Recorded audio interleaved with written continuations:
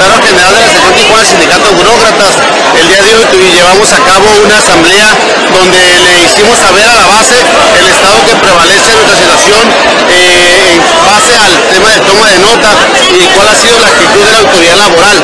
En base a esta manifestación con los compañeros, la Asamblea está exigiendo que hagamos un paro para reclamar el respeto de la autoridad y es lo que haremos el día de mañana. Estamos convocando a una asamblea informativa las 7 de la mañana las instalaciones de la Comisión del Agua que está ubicada en el Boulevard Benítez.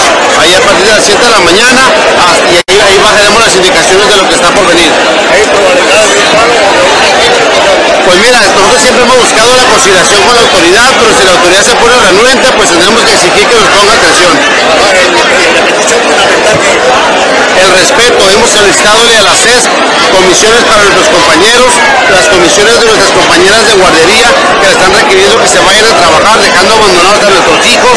Hemos pedido también este, las licencias con goce de sueldo para compañeros que tienen enfermedades crónico-degenerativas o que se encuentran muy delicados de salud y que es licencia, ellos están en su casa recuperándose.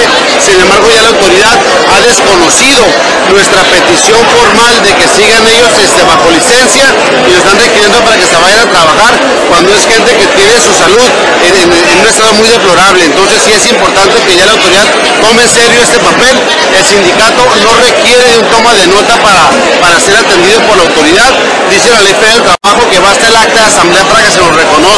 Inclusive, ¿cómo es posible que el secretario de gobierno del Estado nos toma la protesta respectiva frente a autoridades municipales, del Tribunal Superior de Justicia y del municipio y aún así nos estén desconociendo? Es una falta de respeto a la burocracia y no lo vamos a tolerar. Pues que nos respeten, que nos consideren y que le den trámite a lo que estamos solicitando vía oficio. La alcaldesa de Tijuana es la única autoridad que nos ha atendido de manera formal. Hemos llevado el diálogo y hemos sacado adelante todos los temas relacionados con el municipio. Pues con exclusión del ayuntamiento, tenemos el cuerpo de gobierno del Estado descentralizados en tribunales que han sido hostiles con, con el sindicato y sobre todo que están dañando los derechos de los trabajadores.